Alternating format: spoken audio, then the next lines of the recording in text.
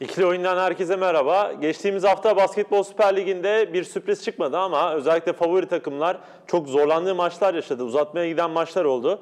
Şimdi geçtiğimiz haftayı değerlendirmek için bir aradayız. Ben Ali Emre Mazmoğlu. Yanında her zaman olduğu gibi Doğa Üründül var. Doğa hoş geldin. Hoş bulduk, merhabalar. Evet haftanın öne çıkanlarından başlayalım ilk bölümde. Tabii. Tabii haftanın en beklenen maçı Banvit Beşiktaş arasında oynanacak maçtı ve Beşiktaş deplasmanda Banvit'i 80-69'da geçti. Aslında maça başladığımızda e, baktığımızda e, Banvit'in iyi başladığını görüyoruz. Özellikle Theodor üzerinden oyunlarla ilk çeyrekte biraz istediği sonucu yakaladı ama ikinci çeyreğin ortasında Beşiktaş'ın savunma planları devreye girince Beşiktaş'ın savunma planları iyi olunca Banvit de durdu. Şimdi burada e, Jordan Theodore'un durdurulamaz bir kuvvetken e, Fenerbahçe savunmasıyla geçen hafta oynadıkları maçta Fenerbahçe'ye karşı Jordan Theodore'a karşı bir formül ortaya attı Obradovic. Bu da sürekli bir baskı, ikili sıkıştırma, e, diğer şutörleri e, yalnız bırakma, Jordan Theodore'a yardım savunması yapma şeklinde. E, bunu yapınca o maçı da kaybettiler. E, bu haftaki maçta da gene Theodor üstüne inanılmaz bir baskı kurdular ki zaten ikinci periyottan sonra bu baskı biraz daha şekillenmeye başladı. Ya Theodor 13'te 4 2 sayılık isabet, 6'da 1'de 3 say sayılık Evet, isabet. mesela top kaybı, top kaybı istatistiklerine baktığın zaman Theodor'un çok e, bir top kaybı yapmadığını görüyorsun. Bir ama Ama onu hep böyle düzensiz şutlara, Kesinlikle. set dışı şutlara evet, zorladılar. istatistik kağıdına yansımayan maçı izleyenin anlayabileceği bir şey var orada. Bir durum var. Yani e, o attığı kötü el üstü şutlar da ya da son sahnede elinde patlamış potaya fırlatmak zorunda kaldığı şutlar da aslında e, bizim için bir top kaybı olarak değerlendirebiliriz. Buraya yansımasa da. İkinci problem Can Maxim Mutaf çok erken foul problemine girdi e, maçta. E, bu da birazcık tempolarını düşürdü ki Can Maxim e, geçen haftaki Fenerbahçe maçında da rebound'a çok fazla katkı vermek istiyor. Bu rebound'a katkı vermek istemesine rağmen pozisyon bilgisi e, çok onun için yeterli değil. O tarz bir şey için foul yapıyor bu tür durumlarda. E, biri de ya koç da Filipovski uyarmamıştı herhalde yani ikinci üçüncü foul'dan sonra ya biraz sakin ol şey arka plana al kendini hani şey yapma diye. O da bir etki etti. Bir de tabii ki Bir de şöyle söyleyebiliriz. Filipovski mesela geçen hafta Fenerbahçe maçında Theodor'un baskı yiyeceğini bildiği için biraz Orelik üzerinden de evet başka bir set daha oynatmıştı ama bu sette Beşik- bu maçta Beşiktaş onu da bozdu. Ya onu da Orelik'i de bozdu. bozdular. E tabii. Ya bir de şöyle bir şey var.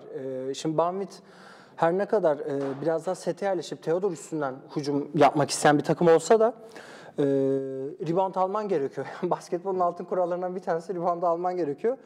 Ki yani 26 rebound aldı Banvit maç boyunca. 10 işte 10 16. Ya Beşiktaş 41 rebound aldı. Ki bunların birçoğunu 13'ü, City maç aldı. zaten. 13'ü de hücum reboundu. 13'ü hücum ribandı. E bunları aldığı zaman zaten Beşiktaş otomatik olarak senden 4-5 hücum fazla yapmış oluyor. O bir fark getiriyor. Onlarda çok eksiklikleri var takımın. E, bir de Banvit e, ya oyun planında şey sıkıntısını hissettik. E, yani Theodor durduğu zaman ne yapacaklar ki ligin başından beri konuştuğumuz bir durum. Theodor bu maç gene durdu. Yani durdurulabiliyor artık yavaş yavaş. Onu büyük şeyler yapabildi.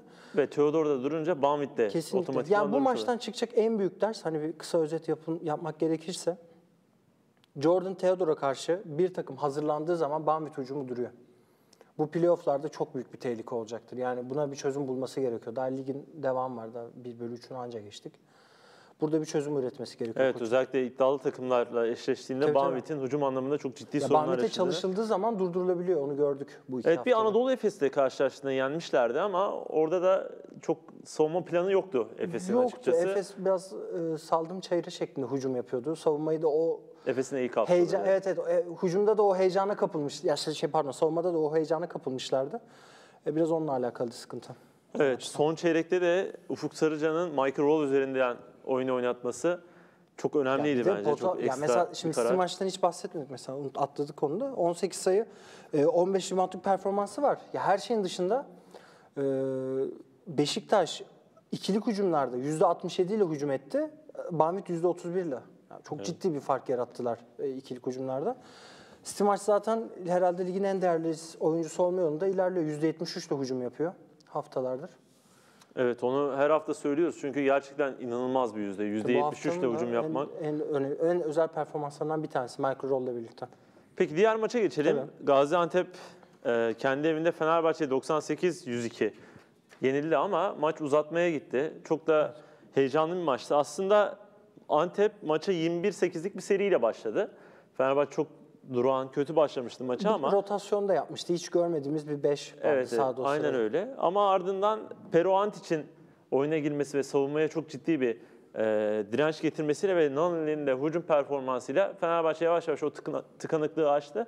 Ama maç sonuna kadar da çok yakın bir sayı gördük. Ee, Nani'nin hücum performansı dedin ki çok böyle özel bir performans gösterdi aslında gene. 3 dakikada 10 sayı attı.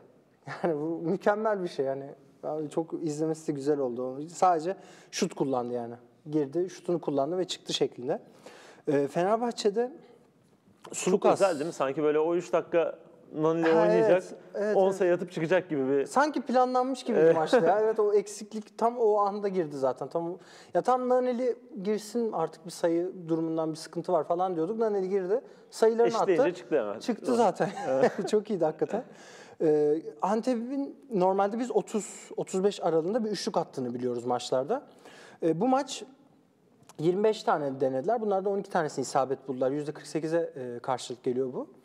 Ki şeyi de belirtelim yani ligde 3 Üçüncü, evet. sayılık e, hücum sayısı 2 sayılıktan daha çok olan tek takım. Tek takım. Tek Evet. takım evet. Ee, üçüncü periyotta da o ivmelerinin yani ki üçüncü periyot zaten 26 sayı attılar Fenerbahçe savunmasına karşı. Ee, onun da sebebi 7 tane de 5 üçlük isabet bulmaları. Yani 7 denemede 5 tanesini isabet buldular. O ivmeyle de devam ettiler Evet, zaten özellikle maça. Reuters'ın ön plana çıkışı. Ee, o çok özeldi. Jefferson, Devin Jefferson e, bu 6 haftadır ligimizde oynayan bir oyuncu. Onu da Venezuela liginden getirmişler. Yani o da iyi bir transfer hakikaten. Ve bence de çok büyük Çok katkı yapıyor. Tabii tabii bu 6 haftadır. Bir ilk hafta beyzbol kesim maçında bir 10 dakika süre aldı ama ondan sonraki haftalarda böyle katlaya katlaya devam etti performansına. Çok iyi bir performans gösterdi. Peki Fenerbahçe için şimdi uzatmayı ele almayalım ama normal sürede 92 sayı yedi. Evet. Çok istemeyeceği Fenerbahçe'nin asla istemeyeceği bir tablo. Bir takımdan 92 yemek. Ya sen bunu neye bağlıyorsun? Türk ya Türk e, oyuncular, Türk rotasyonu normalde Fenerbahçe'de pek alışık olmadığım, görmeye alışık olmadığım isimler de oynadı bu sürelerde. E, Ama Ve şöyle 35 bakıyorum. dakika süre aldılar yani maç içinde toplamları, bütün Türk oyuncuların toplamı. Ali Muhammed dahil değildir e, bu söylediğim şeye. E, yani o 35 dakikada tabii takım da dinlendi. Bir de Veseli yoktu üstüne. Yani bir ara maç gidiyordu zaten. Sonra Obradovic arka arkaya mollar aldı ki mola hakkı bitti zaten en sonunda. Ee, o şekilde çevirdi. Yani bunu birazcık yorgunluğa verebiliriz. Azıcık rotasyon içindeki oyuncuların ısındırılmamasına daha önceki haftalardan verebiliriz ama bunu kesinlikle yapmak zorunda. Çünkü fikstür giderek sıkışıyor. Daha da sıkışacak. Ee, ya bunlara özellikle bağlı. Bir de Antep haftadır- %50 ile üçlük attı tabii bu hafta yani. O- O da var. Her zaman Ama tabii o %50'den da atamazsın. biraz da Fenerbahçe'nin savunma performansına bağlı olarak. Ya dış savunmada Ekbiyudo tek başına dış savunma yaptığı zaman gene o sıkıntıyı yaşıyorlar bir açıdan. Veseli olduğu zaman o ikisi tam dış savunmayı halledebiliyor. O dışarı saldıkları bölüm var ya onların meşhur. Evet. Ee, ya onun dışında yani Antep'in de hakkını yemeyelim. Antep'te hakikaten çatır çatır oynadı ya basketbolunu. Hiç şey yapmadı yani. Hiç geri adım atmadılar.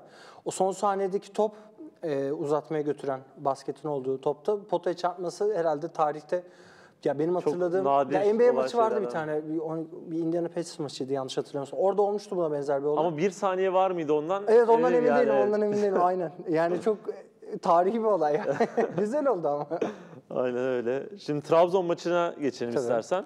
Trabzon'da Efes'i konuk etmişti bu hafta ve onlar da 78-77 ile sahadan yenik ayrıldı ama maçın son dakikasına kadar gerçekten maçı götürmeyi başardı. Hatta 3. çeyrekte bir 9 sayılık üstünlüğü de ele geçirmişti ama ona e, Efes'in reaksiyonu hızlı oldu ve maçı sonunda kazanmasını bildiler.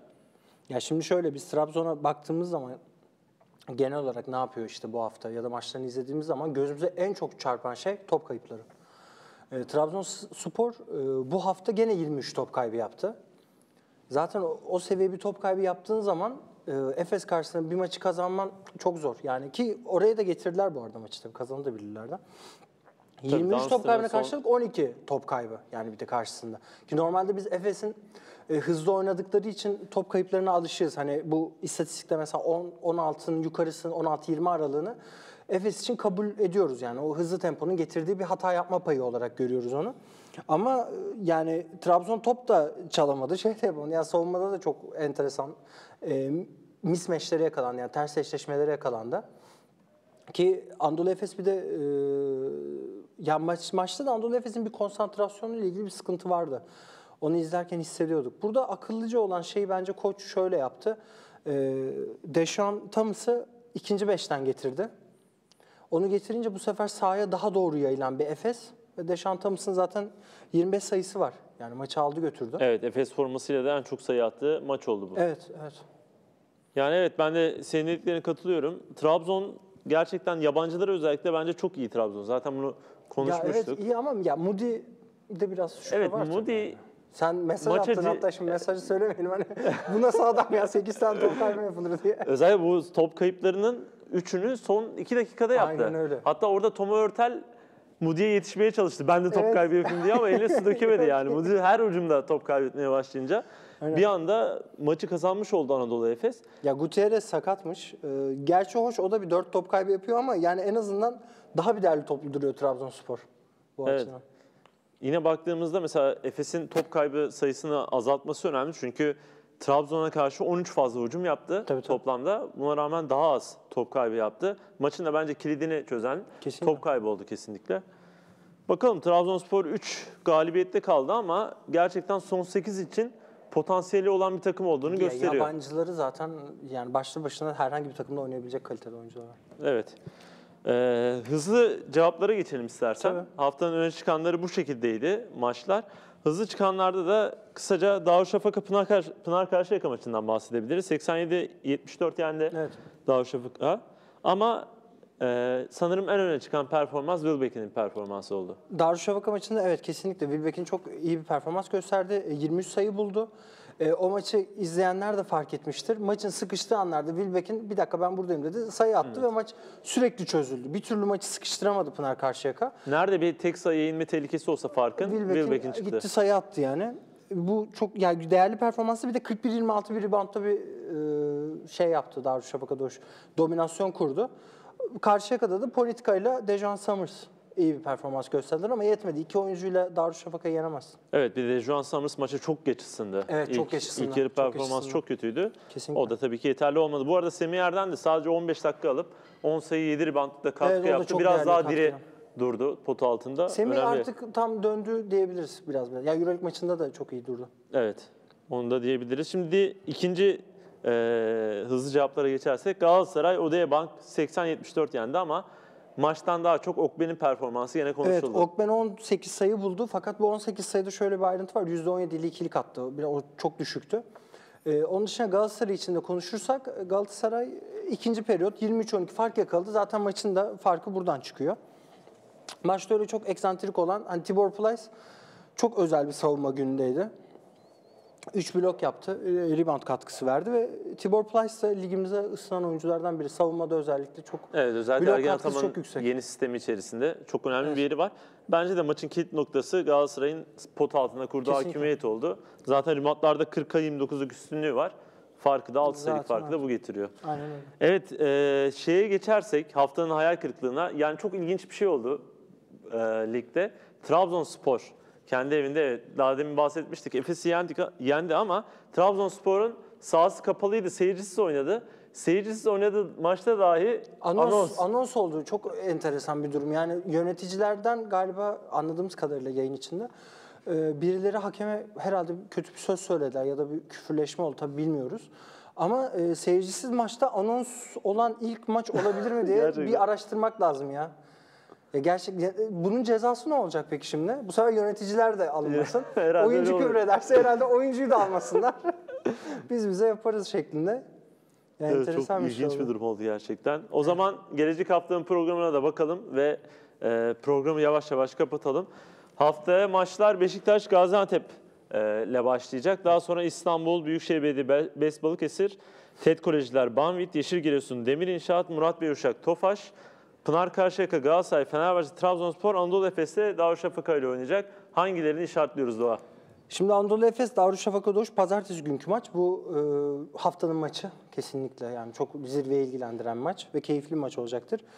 İkinci olarak Pınar Karşıyaka Galatasaray'ı da seçebiliriz. Karşıyaka'da ne kadar e, formsuz da olsa takım kendi evinde ama bir özel bir hazırlanışları var. Yani daha bir atmosferle Bir de Galatasaray'a karşı da özelde hazırlanırlar. Kesinlikle. Evet. Üçüncü de sen yayından önce söylemiştin Murat Bey Tofaş demiştik. Onda da o da keyifli yani hani tam bir böyle hafta sonu eğlencesi. Evet iki takımın da eşit 4 galibiyetleri var, 7 mağlubiyetleri var. İkisi de playoff adayı. O Kesinlikle. yüzden eğlenceli olacağını Bir de Murat Bey bu hafta e, son bir şey daha ekleyeyim. İlk deplasman galibiyetini Best Balıkesir karşısında aldı. Onları da tebrik ederiz. Uzatmaya giden maçta Best Balıkesir yendiler. Peki o zaman programa veda edelim. Bugün Basketbol Süper Ligi'ni konuştuk. Ee, yarın da Euro Ligi'ni konuşacağız. Zaten Euro Lig maçları bugün başlıyor. Yarın onu da bir değerlendirmiş olacağız. Şimdilik hoşçakalın. Hoşçakalın.